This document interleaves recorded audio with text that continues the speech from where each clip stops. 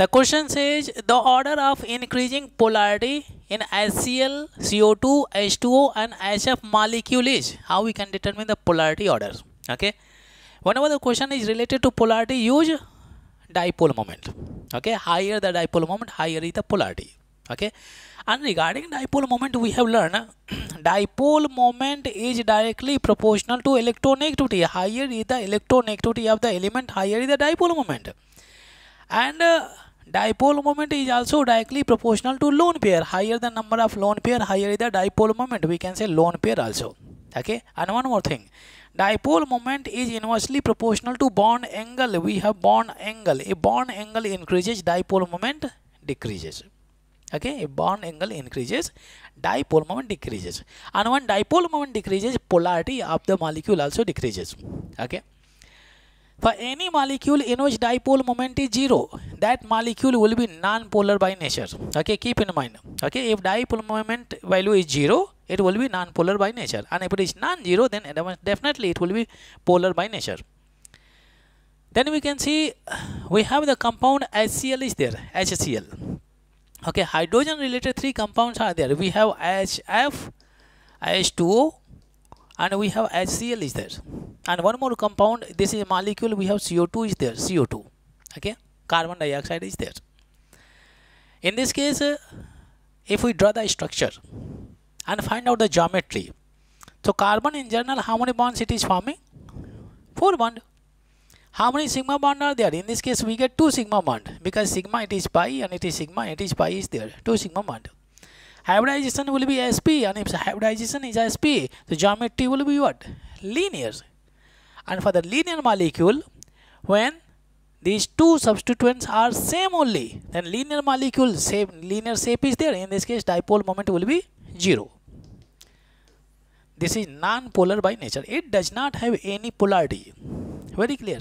Least polarity. There is no polarity also. Okay? Means it is non-polar by nature. Non-polar by nature. Because it is having linear shape. Dipole moment is zero. Okay. So now you can see next we have these three molecules are there. And how we determine which one is highly polar? So as i said you know dipole moment is directly proportional to electronegativity. Okay? So you can see central element is fluorine central element is oxygen central element is what? Chlorine is there. So check the electronegativity we have fluorine and it is chlorine. And this is oxygen it is sulfur is there. This is nitrogen it is phosphorus is there. It is present in the second period it is present in the third period. Okay? Fluorine is the most electronegative element in the periodic table. Okay? So higher the electronegativity higher the tendency to pull the electron. As the charge increases polarity also increases. Okay? That's why dipole moment directly proportional to electronegativity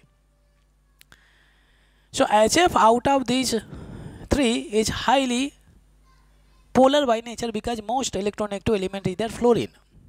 These two are there. Okay. So smaller the size, higher is the electronegativity because electronegativity is directly proportional to nuclear charge. Higher the nuclear charge, higher is the electronegativity. So you can see oxygen is present in the second period and chlorine is present in the third period. Means chlorine is having larger size than oxygen and electronegativity is inversely proportional to size as the size increases electronegativity decreases then oxygen is more electronegative than chlorine okay since oxygen is more electronegative than chlorine then oxygen present in this molecule it will be more polar by nature because oxygen is more electronegative than chlorine based on the electronegativity we are determining the polarity so first we have HF highly polar by nature. Then we have H2O and in the last we have HCl is there. Okay? The least polar we get CO2 it is non-polar by nature. After this we have HCl after this we have H2O and then highly polar that is HF is there. This is the order we are getting. CO2 HCl H2O and HF you can see in the first option we are having these molecules.